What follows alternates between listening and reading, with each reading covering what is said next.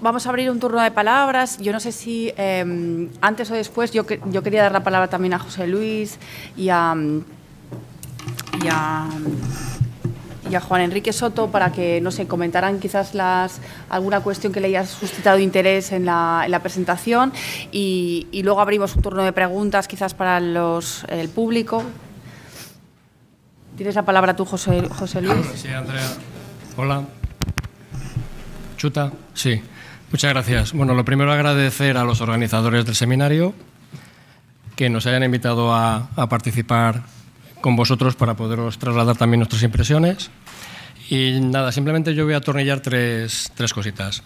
Lo primero, llamaros la atención de que eh, este proyecto de agresores sexuales es un ejemplo más de las posibilidades que hay de colaborar entre la academia y los, vamos a decir, los clientes, que somos los que tenemos los datos y también los problemas, con lo cual, para toda la juventud que estéis aquí representada, eh, creer que, que, el futuro es muy halagüeño, porque si hace 10 años era muy difícil que hubiera este maridaje que siempre digo entre universidad y cuerpos policiales en general. ¿eh? O sea, yo voy a hablar de todos los cuerpos nacionales, tanto de España como fuera, ¿no? como internacional.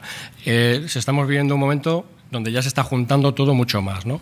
Entonces, los cuerpos policiales vamos a seguir dando datos, vamos a seguir trayendo problemas, vamos a seguir diciendo aquí esto es lo que tenemos, porque tenemos millones de datos desorganizados, un poco dispersos, y lo que vamos a preguntar es cuáles son los datos que de verdad permiten identificar, en el caso de hoy, agresores sexuales, ¿no? Pero esto se puede aplicar a cualquier cosa, ¿no? No sé qué tal os habéis quedado con el tema de las redes bayesianas. Si os hacemos un examen ahora, ¿os ha gustado? Bueno, pues lo de las redes bayesianas es muy operativo. Es muy operativo porque si conseguimos nutrir de datos reales y los tenemos, tenemos muy, ya digo, muy dispersitos, ¿no? Pues esos modelos que he explicado serán cada vez mejores. Algún día prescindiremos de que se hagan a mano y podremos tener en los sistemas informáticos policiales programación para que ya dejen de ser listillos y pasen a ser inteligentes, de manera que aprendan, ¿no? conforme tengamos un caso nuevo, pues que se pueda modificar esa red y que nos pueda dar inputs diferentes. ¿no? Con lo cual estaremos, eh, eso es un sueño, ¿eh? pero que lo viviréis vosotros. Ya los mayores ya nos jubilaremos y estaremos pescando y navegando por el Mediterráneo, pero vosotros tendréis que estar ahí dando el callo y tratando de perfeccionar esto. ¿eh? Dios mediante, ¿no? Esperemos que sí. Pues lo primero la idea es esa, la idea de que hay cada vez más comunicación entre eh, las fuerzas de seguridad y la academia, como no puede ser de otra forma. ¿no? Entonces, tienes que seguir estudiando, tienes que seguir infiltrándose en el mundo policial y tratar de conseguir que os demos esos datos. ¿no? En segundo lugar, también ha quedado de manifiesto que hay muchas limitaciones. O sea, se han traído resultados, pero se ha hablado de proposiciones, de resultados tentativos, de... y sobre todo se ha hablado mucho de proyectos de futuro. Líneas de futuro, vamos a hacer, vamos a hacer, vamos a hacer, ¿verdad? ¿Y quién lo va a hacer? Vosotros, cuando, cuando ya estudiéis más. ¿no? Y hay un problema preocupante, ahora miro para mis compañeros penitenciarios, y es que desgraciadamente aquí, como en otros países, tenemos el dato policial muy separado del dato judicial y del dato penitenciario. Entonces resulta que los polis eh, cazamos malos, permitidme que hable con cariño, y, y registramos la información que nos sirve para procesarlos. Pero una vez que soltamos nuestros atestados a los jueces, eh, ya no sabemos qué ocurre, Decía Andrea, recordar lo que dijo, que, no sé si os habéis estremecido en la silla, pero de los 400 atestados de agresiones sexuales, cuando les hemos ido a buscar a prisión, resulta que encontramos 40. ¿Eso cómo lo veis? Un poco mal, ¿no? Algo está fallando. ¿O fallamos nosotros? Que yo creo que no. O falla el proceso de búsqueda, o falla lo que sea, ¿no? ¿Vale? Porque no hay tanto agresor sexual suelto y, sin identificar y, demás, ¿no? O sea, creemos que el éxito policial es, es grande. Bueno, pues es una cosa que tenemos que ir solucionando, que podamos compartir mejor el dato, tanto el policial como el judicial, como luego el penitenciario. Y hago especial énfasis en el penitenciario, porque linkando con lo que dijo Jessica al principio, quedaros con una idea también muy de futuro. Lo que de verdad identifica a un criminal no es su demografía, no es la estatura, ni la edad que tiene, eh, aquí hemos utilizado variables como el país de, nacimiento, etcétera, pero puede ser que haya otras variables de personalidad o de forma de ser mucho más interesantes que tenemos que identificar y tenemos que meter en los modelos. Y esa, información existe, si es que la tienen nuestros, compañeros penitenciarios que hacen evaluaciones de los chicos y de las chicas malas, y ahí tenemos información que puede tener operatividad también a la hora de prevenir, ¿no? que, es lo que buscamos, ¿no? que, tanto incrementar la tasa de esclarecimiento como tratar de prevenir que haya nuevos delitos. Y la última, eh, el último comentario que hago es, es, es, un poco eso, que vamos a ver si, si, conseguimos mejorar tanto los sistemas de registro de datos policiales, y aquí a César le voy a hacer un regalo, y es que ya desde el año pasado, ya los cuerpos del Estado ya estamos grabando las coordenadas de los delitos con lo cual en breve ya no tendrán que pegarse a mano ahí ellos leyendo la testa o la dirección. Y esta dirección donde está, ¿verdad? En esos textos de la Guardia Civil, el paraje rural que había no sé qué, no, pues ya vas a tener las coordenadas ahí perfectamente, con lo cual eh, nos vamos a beneficiar todos de que se pueda, de que se puedan hacer mejores triángulos o cuadrados o pentágonos o lo que porque compraremos todo lo que sirva. O sea eso en ese sentido va a ser muy prácticos. Nada más. Muchas gracias por vuestra atención y aprovechar para preguntar aquí a que hay mucha gente que sabe mucho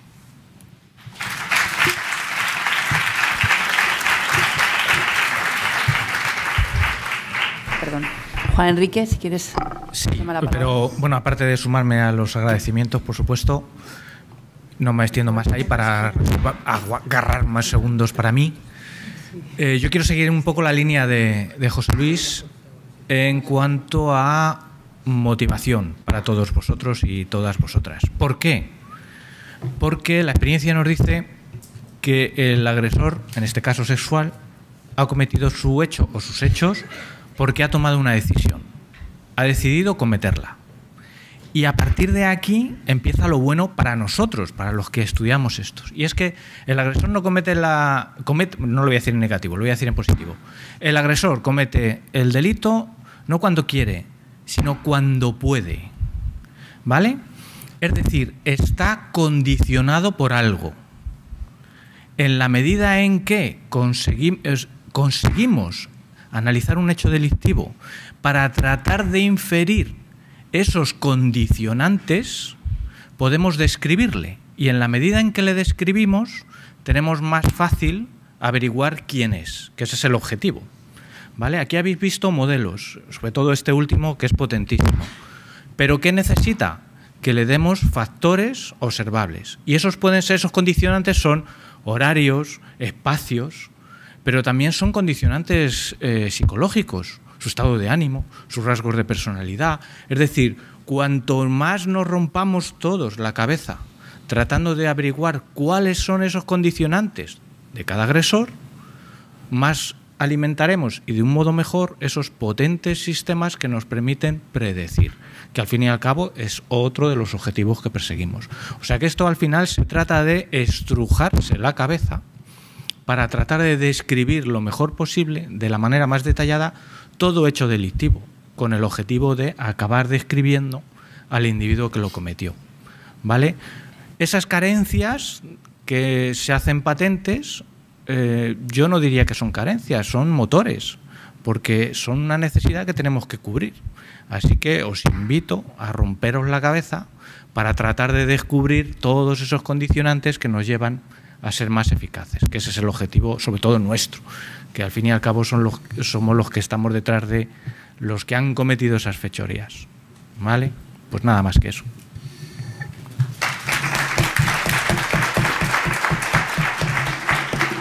Abrimos un turno de preguntas si alguna persona del público quiere aportar alguna cuestión, comentario,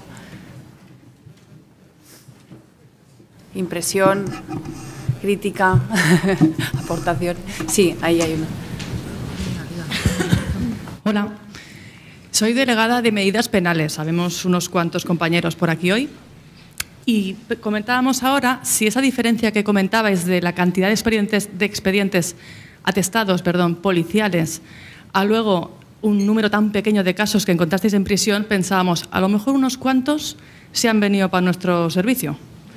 Eh, gente que se le ha condenado por un delito de tema sexual, pero que finalmente no ha ingresado a prisión. Quizá no es un gran no sería significativo en relación a la diferencia que hablabais, pero pensamos, unos cuantos seguro que están. Y somos un servicio que hacemos un seguimiento de esa gente y tenemos información de esos casos. Y pensamos que a lo mejor esa información sí que sería útil en este tipo de investigaciones para prevenir. Eso era, que estamos aquí. No, no, muy buena, muy buena aportación, porque a lo mejor nosotros llamamos prisión y, claro, prisión eh, no solamente es régimen cerrado, sino también el régimen abierto, también son medidas penales alternativas y, por lo tanto, todas esas personas ¿no? que están en, bajo pues, a, vuestro cargo. ¿no? Se tuvieron en cuenta, se buscaron y efectivamente habían, si no recuerdo mal, tres.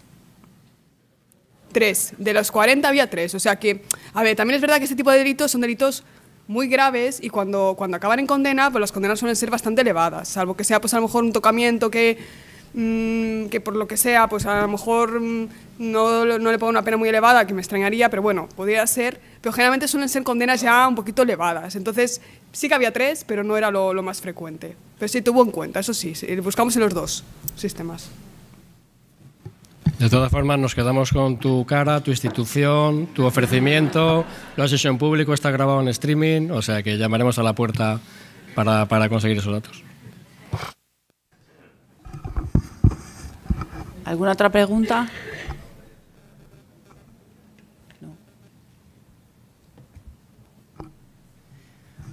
Bueno, pues si no hay ningún otro comentario, yo simplemente agradecer a todos los participantes. Hemos sido muchos los que ya podéis ver que hemos participado en este, en este proyecto y, la verdad que, bueno, pues eh, esto es una pequeña porción de lo que, bueno, sobre todo los resultados finales de lo que hemos trabajado y también eh, os mandaremos o os haremos llegar eh, una publicación que también se, se va a hacer, bueno, se, se, ha hecho ya, pero se está maquetando para poder publicar con los resultados principales de la investigación, que quiere ser como una guía ¿no? de apoyo a la investigación criminal en, este, en esta materia de víctimas hay de agresores sexuales con víctima desconocida, por lo cual bueno, pues ya, ya podrán saber un poco más de, de los entresijos y más detalles, porque aquí hemos presentado bueno, mínimamente los, los principales resultados.